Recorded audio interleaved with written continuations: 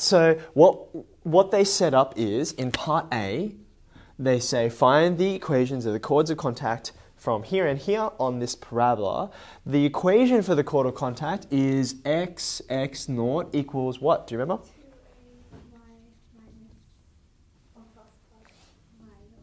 Okay, 2a, y plus y naught. Your x naught and y naught will come from these coordinates. That's that point that's off the parabola. And then a, you have to work out. So how do you do that? Okay, so you've got x squared equals 4ay up here, except instead of 4a, you see an 8. So therefore you can infer that a in this case is equal to... To make 8, a is going to be equal to 2 in this case, right? So really I can use this form, having substituted in a equals 2, and then you do it for each of these two points, okay? So can you tell me what the two equations are? What's this one?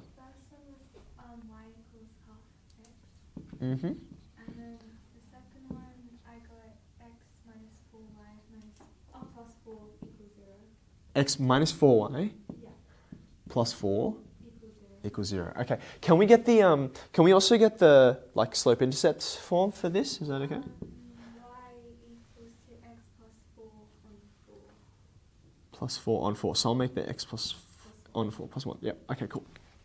All right. Yeah, that's um half x. Yeah, okay, great. Now, what does this mean? Um, we've got a diagram, sort of, I've started to draw up a diagram, and it's because I want to understand spatially what's happening. You saw how useful it was in the last question, so I could work out what on earth is happening. Um, to be able to have a diagram there, even if it's a really awful looking diagram, it, you just need it as a, as a visual sort of crutch to lean on, okay? Now, I can work out what these things look like on here, right? Um, a half x is going to go through the origin and then it's going to sort of gently go up, okay? To me, it looks like that's going to be something like uh, that, okay? Now, I'm not going to put it on because it's going to make this diagram visually too busy. But you can see that why that makes sense because this is the chord of contact from P, right? What makes the chord of like what's the definition of the chord of contact? How would you describe it to someone who's never heard of such an object before?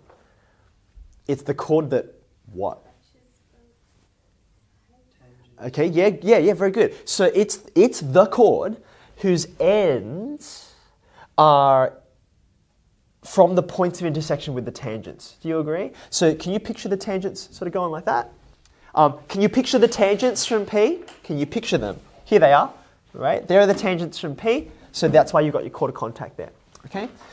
Um, then you get this guy, which I am guessing will look something like this. Note that it is shallower than the original chord of contact. It's shallower because of why? Why is it shallower? The gradient. Yeah, the gradient is a quarter, and um, it's it's been shifted upwards. There's my there's my one. Oh, this is a terrible scale. You get the idea, okay? So, um, I, I've put them at the same point because the question said they're going to intersect at R, which is uh, PQ is tangent to the parabola at R. So R is somewhere on the parabola. Do you see how I actually could reason that? Even though I don't know where R is, it has to be somewhere on there, and that has to be it because I'm going to get a tangent. All right. Lastly, what am I required to prove? Okay, so this is my goal. I want to prove that this is the tangent. Uh, let's see how badly this is going to turn out. Oh, I've done worse. Okay, there you go. So this is, do you have a visual now? This is where I'm going. Okay. So how do I prove it? There are, there are um, two pieces to this. First, I've got to work out where R is, right? The chords intersect at R. Well, I have the equations of the two chords, so R is not that hard to find. Let's do that, okay? Um, if the equations are y equals a half x and y equals a quarter x plus 1, tell me what to do. I'm looking for a point of intersection, so I'm going to solve simultaneously. Yeah. Uh, you could, but that's a bit. Um, uh, yeah, that's that's breaking an egg with a sledgehammer. I really don't need to do something that involved. So I'm going to just um, substitute. I'm just going to equate the two. All right. Um, now tell me what to do. sorry, times everything by 4. Yeah, that'll that'll do me. So that'll give me two x. That'll give me x, and that'll give me plus four. Now what? Yep. I'm going to subtract x from both sides, which leaves me with that. Okay. Um, which, by the way, I know it's an awful diagram, but it's like, yeah, you know what? That's that's not bad, right? Like you see, okay, so this is this is good. This is confirmation. If I'd gotten something negative, even though my diagram is rubbish, I already know that's wrong. Oh, I did some arithmetic you know, problem. Okay. X equals four. That means y is going to be two. So far, so good, which also is confirmation, okay, roughly. So um, I'm suggesting here that that's where R is, okay. Now, my goal is to prove that PQ is a tangent at that point. We did something like this in the previous question about proving that something is tangent to something else. Any suggestions from anyone in the room now? Maybe you've had enough time to catch up mentally, okay? How do I prove that PQ is tangent to this parabola at that point? How did we do it last time? We used the discriminant, which was reliant on the fact that we had the equation of the parabola, we had the equation of this tangent. Uh, I'm going to not say tangent, I don't know that yet. We have the equation of this line, which I'll point out we don't currently know. And then we use the discriminant, we found it was equal to zero. In fact, in that case, we set it to be zero because we wanted it to be a tangent. That could work. Um, use the discriminant. Is there anything else we could do? So what's R? R is this point up here. That's R. Okay. Um, I'm happy to use that method. Is there anything else we could do though? I'm interested in looking at another method because I mean we just use the discriminant. Can we can we flex our muscles and try something else? Could you differentiate the parabola and then substitute? Yeah, I absolutely could. Yeah. If I find the derivative, then I can work out what the derivative is at that point. What I want is for it to match the derivative of this straight line. Okay? It sounds like for either of the options I'm going to go through, uh, I need the equation of the tangent. I need to find the equation of PQ. So let's do that. Okay? The equation of PQ. Have a look at the information you've got. What am I going to do to find the equation? I can find the gradient there, and then I can put one of the points in. Alternatively, because I don't already know what the gradient is, um, I could just use two point form because two point form does both of those all in one hit, right? So I'm going to do that. y minus y1, x minus x1, y2 minus y1. You see right there on the right hand side, that's the calculation of the gradient. Yeah, so let's go ahead and do this. Which one do you want to be x1, y1? Which would you prefer? You think it should be this one here? Yeah, okay, let's do it. Yeah, that's fine. That's okay. So I'm going to uh, mentally. Um, what I often do is once I've set that one, um, I do all of the things in relation to that. So I do all of these guys all in one hit.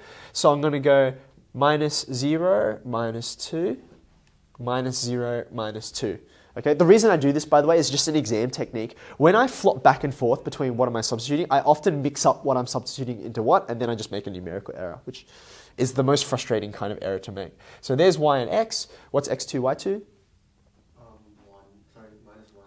Yep. So there's the minus one and there's the one. Does that look good? Um, y, x minus two. That's just one. And Yeah, this is negative one on negative one. That's convenient. y equals x minus two. Sense check. What do you think? Looks okay. Yeah. Uh, I will point out um, I had to stop myself as I was drawing this because the scale I had originally chosen um, made it really hard to draw. So that's why if you have a look at oh that's one on the x-axis, but this is one on the y-axis. I made it a, quite different so that it would be a nicer shape. And yeah, that sure looks a whole lot like negative two, right? So thumbs up. What was I going to do with this? Okay. Yeah, fantastic. So I can already, I can immediately read off that the gradient is going to be 1. Okay. So now, in order to prove that this is a tangent, I need to show, number one, the gradient there at r on the parabola is also 1. And I also have to prove that this goes through r. Okay. That's not hard. Let's do it.